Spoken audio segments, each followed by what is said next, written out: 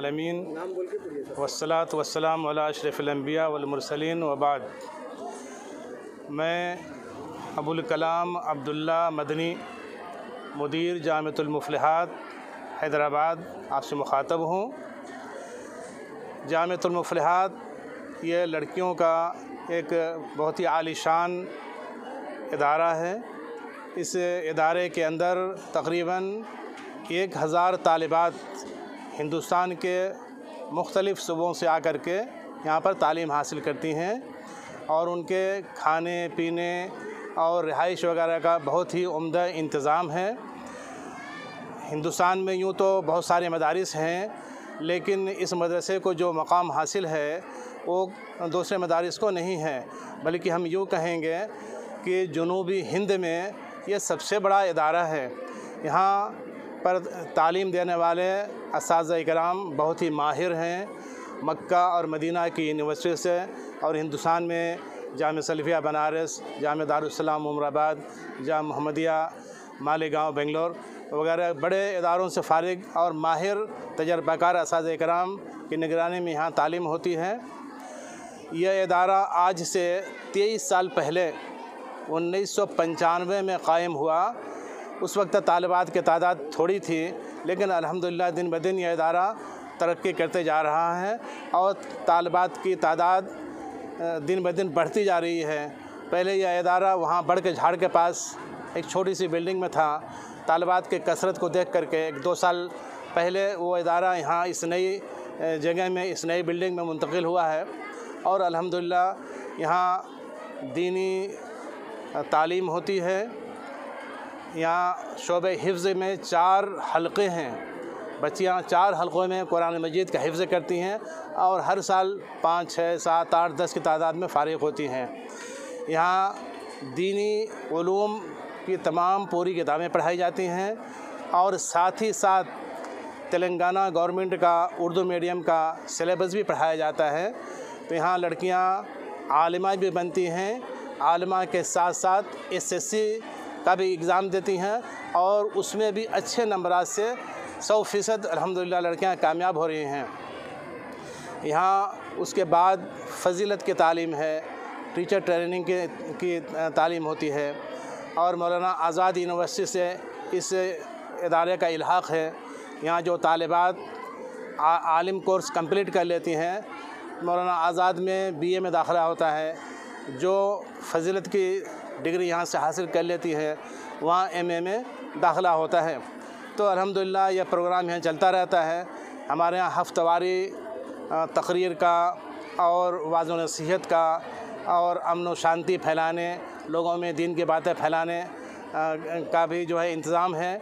اور اسی سلسلے میں ایک بہت ہی اہم پروگرام مسابقہ حفظ حدیث آل انڈیا پیمانے پر یہاں پر قائم کیا گیا، جس میں ساڑھے بارہ سو طالبات مختلف اضلاع سے اور صوبوں سے شریک ہوئی ہیں۔ یہ طالبات ہمارے سامنے یہاں موجود ہے۔ اس کا بینر یہاں لگا ہوا ہے سامنے۔ ابھی اس کی کارروائی چل رہی ہے۔ ایک دو گھنٹے تک اور اس کی کارروائی چلے گی۔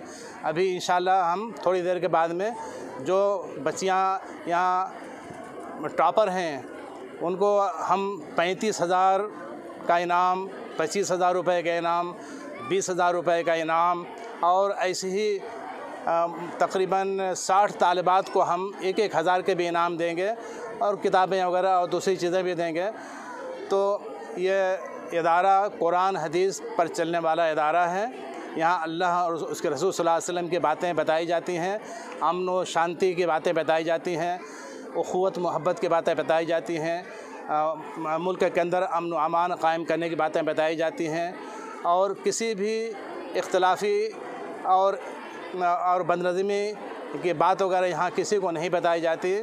یہاں مکمل امن و امان، شانتی اور امن و اسلام شانتی کی باتیں یہاں پر پڑھائی جاتی ہیں۔ اور اسی موضوع پر بچیاں تقریر بھی کرتی ہیں، تعلیم بھی حاصل کرتی ہیں۔ یہاں سے اپنے گھروں کو، اپنے اضلاع کو واپس جانے کے بعد میں بھی لوگوں میں امن و شانتی کی باتیں ہی پھیلاتی ہیں۔ یہ آج بہترین موقع تھا کہ ہمارے سامنے سعودی عرب کے سفیر جو ہندوستان کے لیے متعین ہیں، ڈاکٹر سعود بن محمد الساتی۔ تین چار سال پہلے ہماری ان سے یہاں ایک ہوٹل میں ملاقات ہوئی تھی، تو ہم نے اپنے ادارے کا ذکر کیا۔ تو ان کی بڑی خواہش ہوئی کہ ہم یہ ادارہ دیکھنا چاہتے ہیں۔ لیکن اس وقت ان کے پاس وقت کم تھا۔ تو اس کمی کو انہوں نے جو ہے آج پورا کیا ہے۔ آج ان کے پاس وقت تھا۔ تو الحمدللہ، سفیر صاحب خود تشریف لے آئے یہاں پر۔ ان کے ساتھ میں ملحق، ثقافی یعنی کلچرل اٹاچی ریلیجیس اٹاچی اور کامرس اٹاچی یہ تین اس ایمبسی کے ذمہ داران بھی ساتھ میں تھے۔ یہ بھی تشریف لائے۔ اسی طریقے سے مرکزی جمعیت اہل حدیث ہند کے نا کے امیر مولانا اصغر علی امام مہدی سلفی مدنی بھی ان کی رفاقت میں ان کے ساتھ یہاں تشریف لائے۔ وقت کم تھا۔ ہم ہر ایک سے کچھ ان کی باتیں سننا چاہتے تھے، لیکن وقت کی کمی کے بنا پر سعودی ایمبیسڈر صاحب نے خطاب کیا جیسا کہ آپ لوگوں نے سنا۔ آپ نے اپنے خطاب کے اندر تعلیم کی اہمیت اور اس میں دینی تعلیم کی اہمیت اور تعلیم کے فوائد جس سے ملک میں امن و شانتی پھیلتی ہے ان باتوں کی طرف خصوصی توجہ دی۔ اور وعلیکم السلام یہی ہمارا مقصد بھی ہے۔ ہر اسلامی ادارے کا یہی مقصد ہے کہ ملک کے اندر امن و سلامتی قائم ہو۔ تو ہمارے سفیر صاحب نے اپنی پوری باتیں خاص کر کے اسی کی طرف جو ہے مرکوز کی ہیں کہ جو ہے امن و شانتی اور دینی تعلیم، قرآن اور حدیث، فقہ، سیرت وغیرہ، ان باتوں کی طرف جو ہے جو ہمارے ادارے میں وہ ترقی دی جا رہی ہے، اس کی طرف توجہ دلائی جا رہی ہے۔ تو ادھر بھی توجہ دلایا ہم نے۔ تو الحمدللہ ہم چاہتے تھے کہ ہمارا جو ابھی یہ کمپٹیشن حدیث کا ہونے جا رہا ہے، ختم ہے، اس کے انعامات کے تقسیم ہے اس میں بھی شریک رہیں، لیکن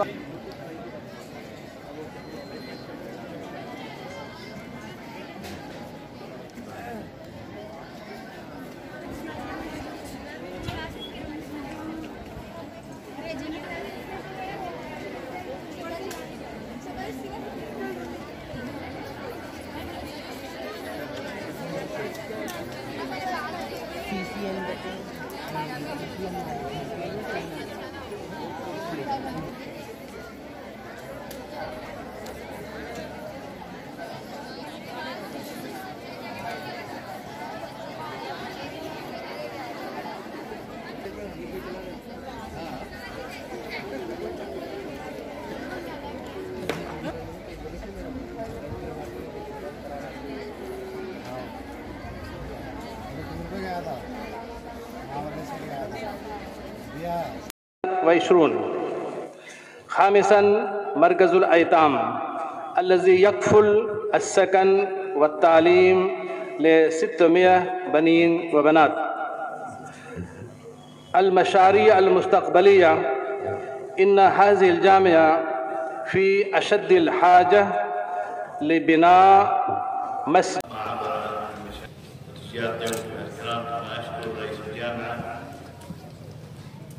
الشيخ محمد اليماني على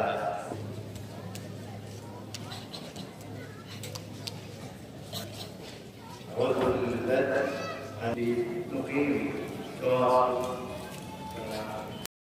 جو ہے انعامی پروگرام اب کچھ ہی دیر میں منعقد ہوگا، اس لیے ہم اپنے معزز مہمانان گرامی سے گزارش کریں گے کہ وہ تشریف رکھیں۔